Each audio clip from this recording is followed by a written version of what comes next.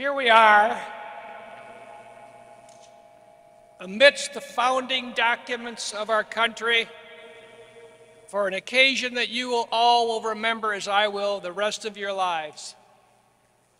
My, my name is Jim Blanchard. I happen to be the chair and president of the National Archives Foundation. I want to welcome you on behalf of the foundation to this ceremony commemorating in the oath of office for the 11th Archivist of the United States, Dr. Colleen Shogan.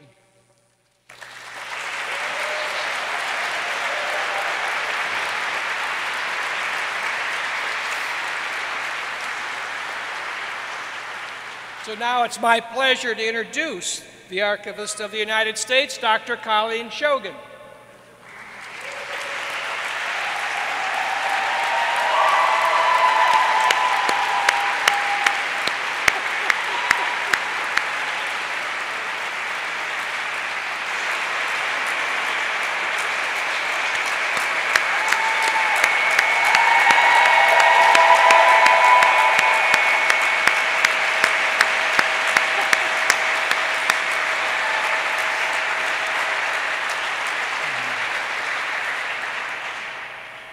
It's my pleasure to introduce the Chief Justice of the United States Supreme Court, John Roberts, Jr.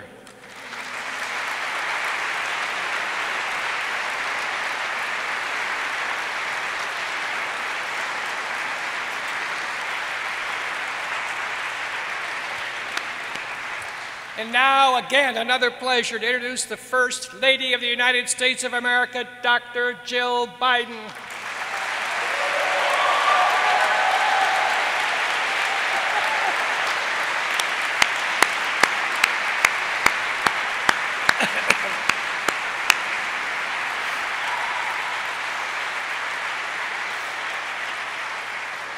As we start this ceremony, I would ask everyone to make sure you've turned off your cell phones. I'd like doing that.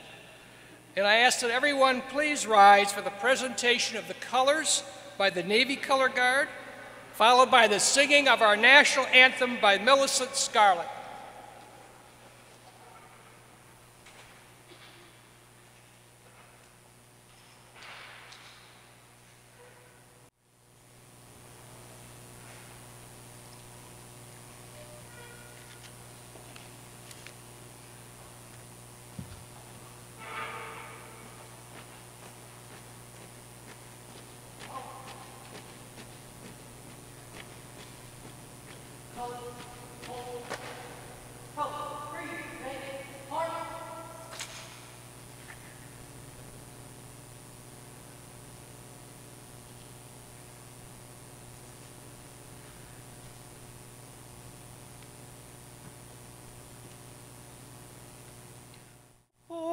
Say, can you see?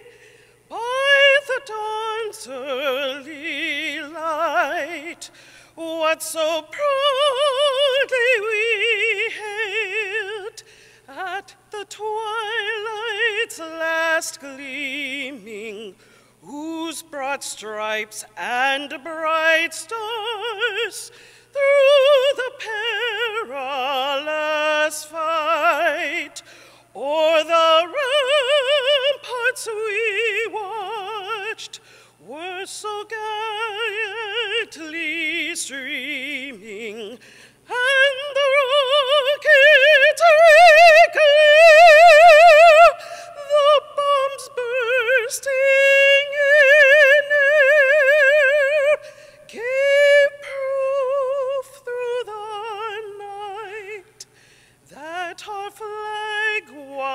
was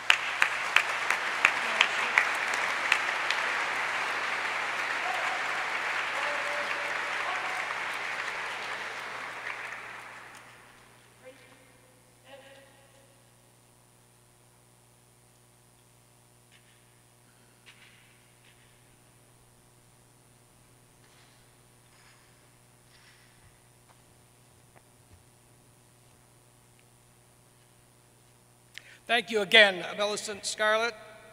And once again, on behalf of the National Archives Foundation, I want to welcome you to this very, very special event.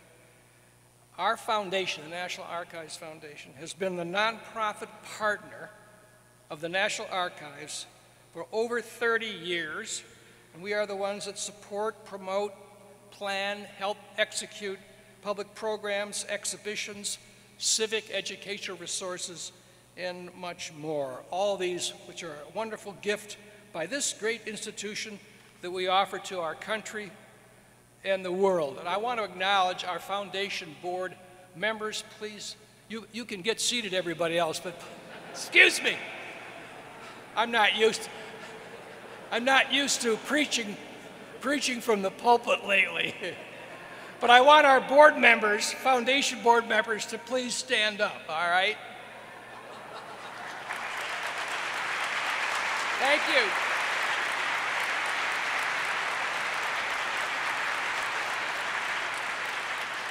And also uh, staff members of the National Archives itself. Those of you who are here, we thank you for your service, and please stand up. Some of you are very modest and you're in the back, but we appreciate what you do.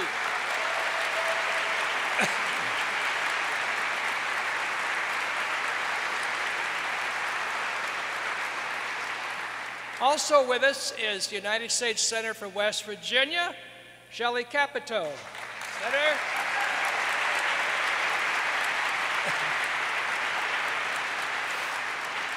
I believe we're also joined by Chairman and Congressman Stephen Womack of Arkansas. Congressman, thank you for being with us. Thank you.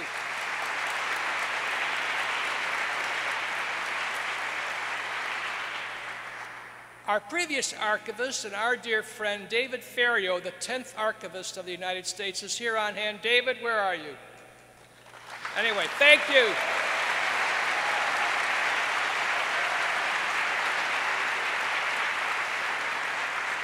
And most recently, during very difficult and challenging times, the acting archivist before Dr. Shogan, Deb Wall. Deb, thank you again for your service.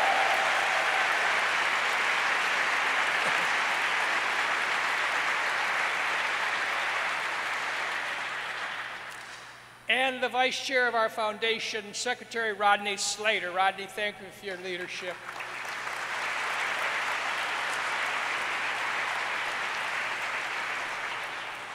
I think most of you know that the National Archives is a truly unique government institution. By the way, it's an independent agency created by Franklin Delano Roosevelt in the, in the uh, 30s. Uh, we contain billions of documents within these buildings and other buildings, and each of them tells a part of the American story. We are obviously, in the archives, is tasked with preserving our past, but it must do with an eye to the future. So we celebrate that future today. As we're gathered for this ceremony, we're celebrating new beginnings and new leadership and it's an exciting day, as we all know. Now, it is my pleasure to introduce the First Lady of the United States, Dr. Jill Biden.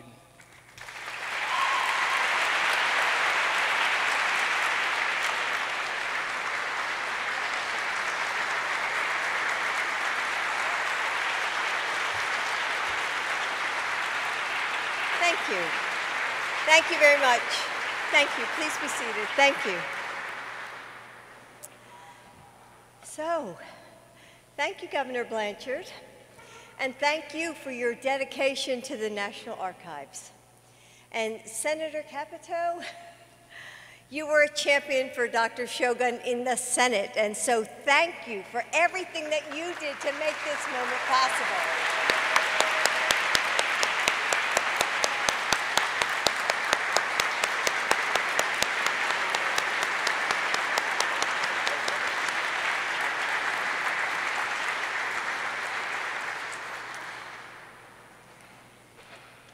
22 years ago today, the horror of 9 11 changed us all in some way. We must always remember those lost that day and in the aftermath. and we will keep their families always in our hearts. We stand with them today and every day.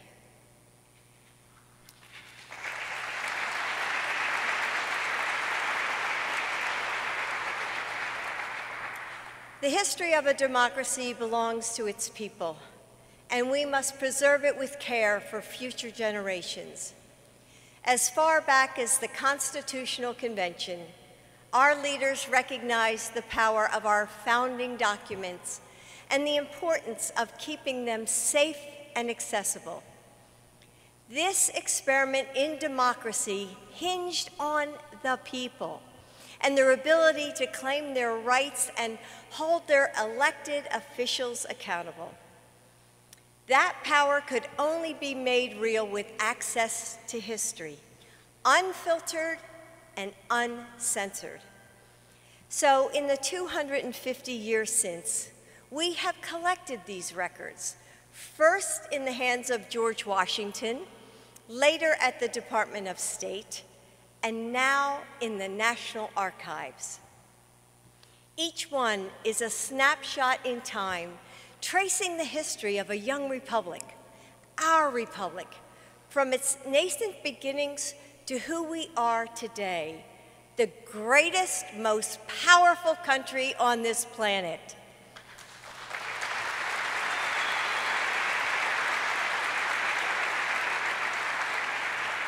The Constitution and the Declaration of Independence, the Louisiana Purchase and Emancipation Proclamation, the 13th and 19th Amendments, Harriet Tubman's Civil War pension claims, Thomas Edison's light bulb patent, a letter Annie Oakley sent to President McKinley in 1898 volunteering the Lady Sharpshooters for the Spanish American War. The transfer of power between 46 presidents. Each of these pieces of paper tells a story. The story of a country and its people, zigging and zagging through history, imperfectly matching, marching toward a more perfect union. Conversely, sometimes that story is a dark one. Manifests of slave ships, President Roosevelt's executive order on Japanese internment, the Supreme Court's Dred Scott decision. It's these stories we must learn the most from. It's these that we must study. For past is prologue, as one of the statues flanking this building proclaims. As an educator, I know this well that our present and our future are inextricably linked to our past, and that we must learn from the past or be bound to repeat it. That's why, as First Lady, I've been so committed to upholding these sacred institutions so they may continue to serve the American people and teach the next generation about our shared heritage. These National Archives have captured our complicated story for nearly 100 years. And for that entire period, the archives have been led by men. you know where I'm going. Today, however, I'm so honored to be part of the ceremony of the first swear in the first woman ever to be appointed Archivist of the United States. Yes, give her another round of applause.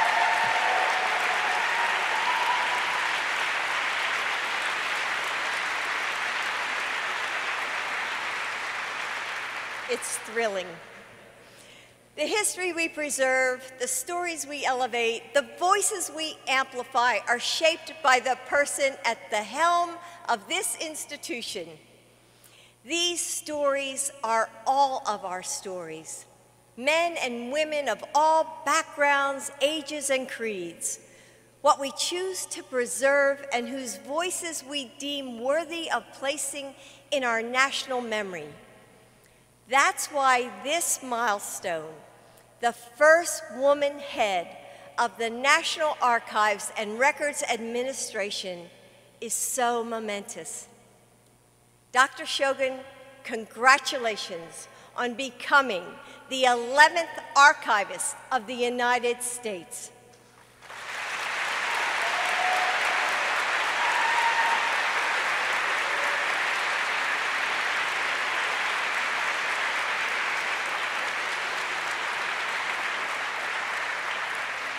You're immensely qualified with a sterling record of service, a clear commitment to preserving our nation's unique history, and a deep respect for this country's founding principles.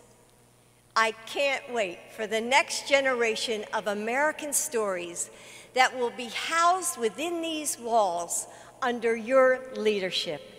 Thank you so much. Congratulations.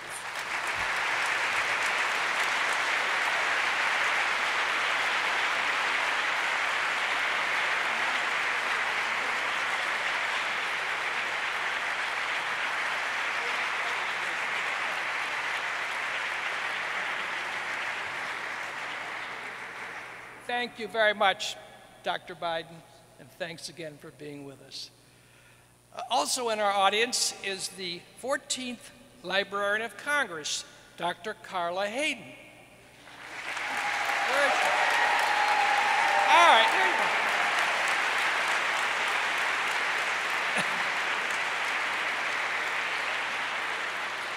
As we get ready to have the Chief Justice administer the oath, I do want to say a couple words about our honoree here today, Dr. Colleen Shogan. We've said she's the 11th archivist of the United States. She happens to be the first woman archivist as well, thanks to President Joe Biden and the U.S. Senate.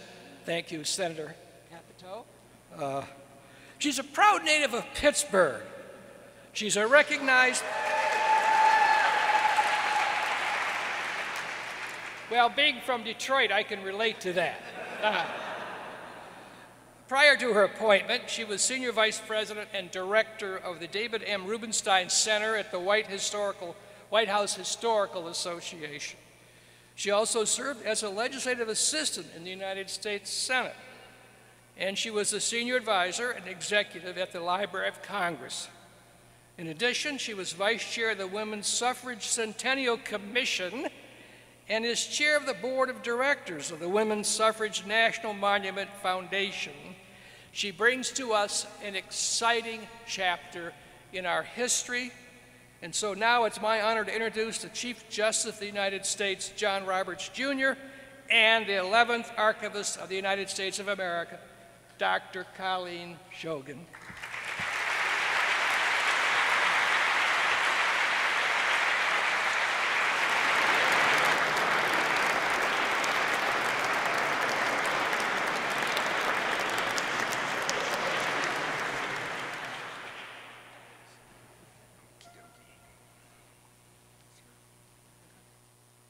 Please raise your right hand and repeat after me.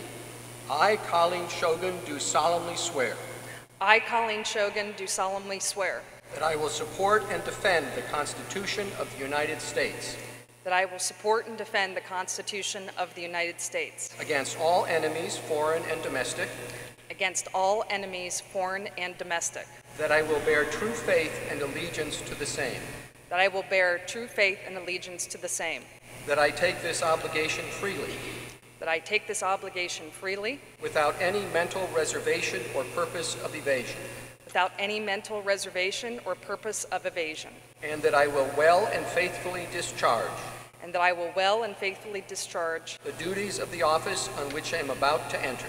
the duties of the office upon which I'm about to enter. So help me God. So help me God. Congratulations. Thank you. Thank you. Thank you.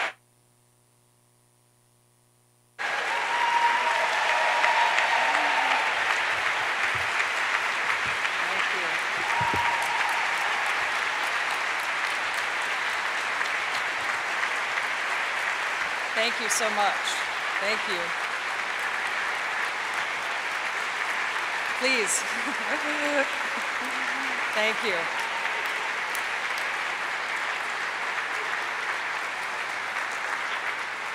Please be seated. Thank you so much. Thank you. Thank you, Dr. Biden, Chief Justice Roberts, members of Congress, my family members, distinguished guests, the National Archives Foundation, and the dedicated staff of the National Archives. Today, as we gather in this rotunda, we remember and honor the lives lost on September 11th, a solemn reminder of our resilience of an, as a nation and the enduring power of unity and compassion. Everyone here today has played a role in supporting me and the National Archives, and I appreciate each of you for your friendship and for your support.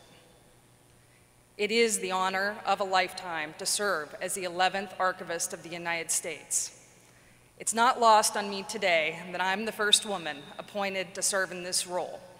You might have guessed it, that it matters to me by what I'm wearing today.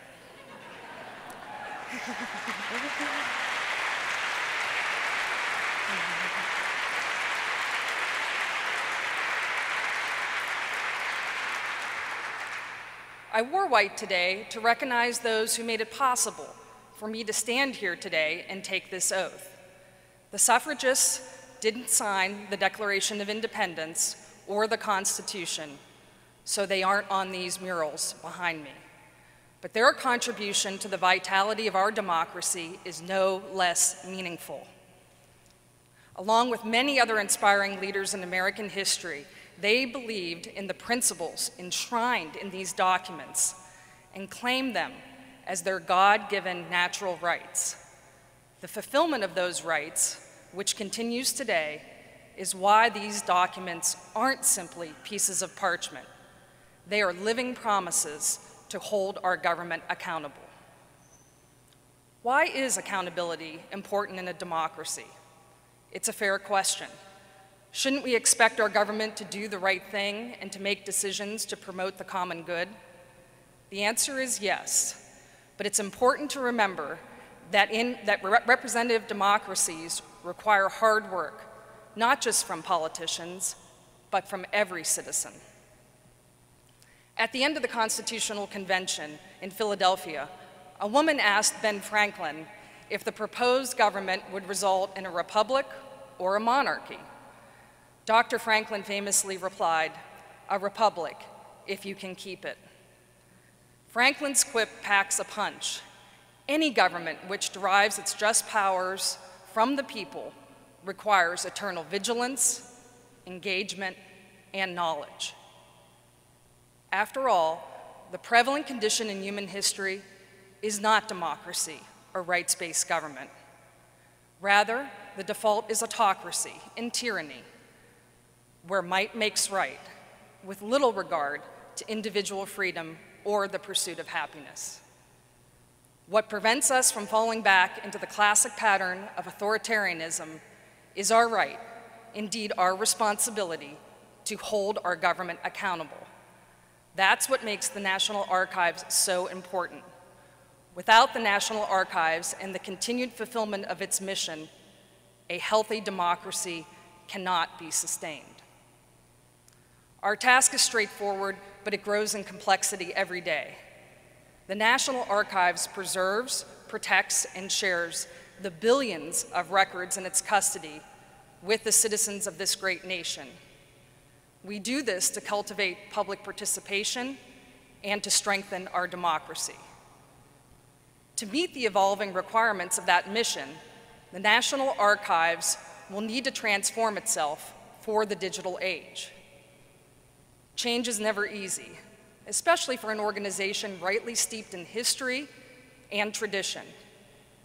But as a political scientist, I know the critical inflection points in the long trajectory of an institution are almost always moments of unprecedented opportunity. We will need to embrace technology to meet our mission in ways that might make us uncomfortable at times. New ways of doing things will challenge our second, nat our second nature habits and processes. But if we are going to succeed, we must move forward boldly. Timidity will not be our friend as records continue to pro proliferate at exponential rates. The National Archives can collect, digitize, and preserve, but without enhancing how we share the records, the papers, the pictures, the emails, the films, then I ask you, what's the point? In new and creative ways, we will share the records of the National Archives with as many Americans as possible. I want all citizens to find a connection with history at the National Archives, whether it's a personal, scholarly, genealogical, or creative endeavor, all should feel welcome here. I want as many Americans as possible to visit us in person, here in the Rotunda or at one of the many National Archives facilities across the country. And for those who can't come to us, I want to take the National Archives to them, online and around the United States.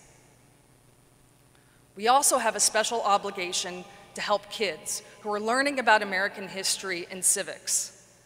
In this respect, our nation's report card is deficient. The National Archives should be a first stop for all teachers and students, and we will double down on creating useful, engaging materials for the classroom.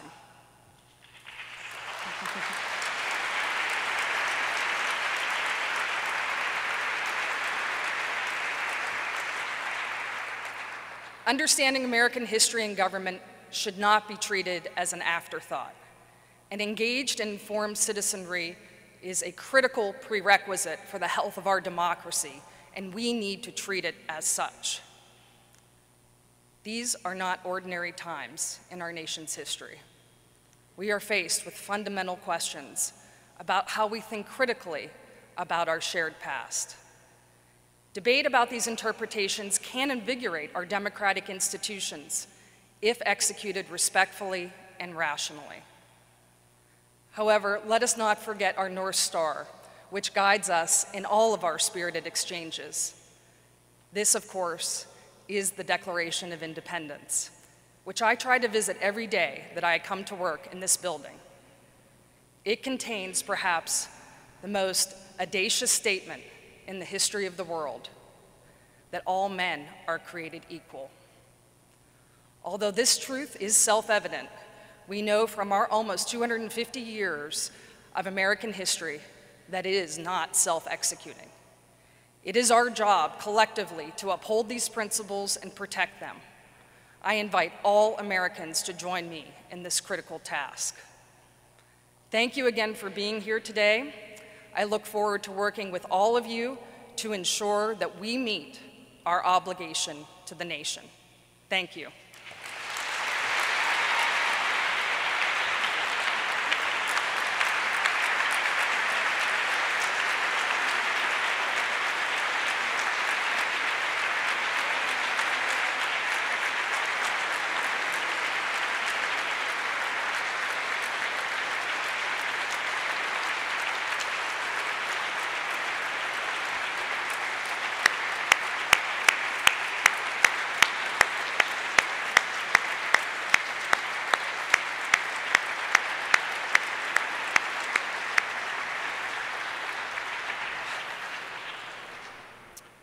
Dr. Biden, Chief Justice Roberts, Dr. Shogan, ladies and gentlemen, thank you for celebrating what will always be one of the most memorable occasions in your life and ours. This concludes our program. We now invite you to celebrate with us behind you in the National Archives galleries. We'll see you down there. Thank you.